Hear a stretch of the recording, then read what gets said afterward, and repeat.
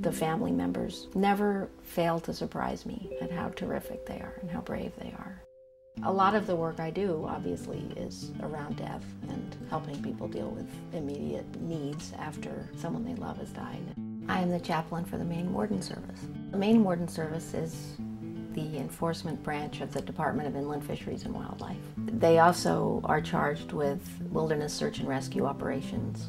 They cover freshwater boating accidents, drownings, snowmobile accidents, all terrain vehicle accidents. They also will do evidence recovery if a crime has been committed in the woods. I am called out for events where there is a good possibility of either significant trauma or death. And my job would be to wait with the family and explain what's going on to help them kind of marshal their resources for dealing with this. When the body is recovered, I will do the death notification, which just means I'll tell them we found his body and he is dead. And then I can be helpful to them, hopefully, in sort of the first few moments of impact of that news. Well, I share with them the experience of losing a loved one because my husband died in 1996. He was a state trooper and was killed in a car accident. I've actually been on the receiving end of the kind of care that I'm hoping that I'm offering them. It is such an, a kind of shattering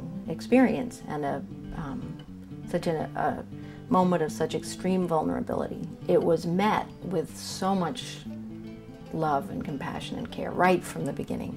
And I think I experienced that as a religious experience, or at least it's as close as I'm likely to get. So it really became, in the long run, my definition of God. I went to seminary both because it was something Drew was going to do. After he retired from the state police, he was planning to become a Unitarian minister. But I think a lot of it was just wanting to participate in this overwhelming sense of love and care that I had experienced. If I'm ever asked by a warden or anyone else, if I'm ever asked, where is God in something like this? Why would God let something like this happen?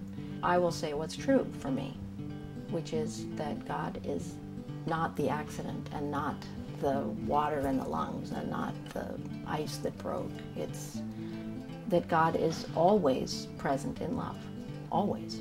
So if you want to see where God is, you look around for where love is coming into this picture. As I said in the book, the rest of it is just biology and physics. That ice will only hold so much weight, and a human body can only stand so much cold. But the fact that someone would be willing to go into the woods to try to find me, try with as much compassion and tenderness as he can summon to tell the people who love me that I'm dead and to take care of them in that moment, that's God. That's worth it. It's worth worshiping.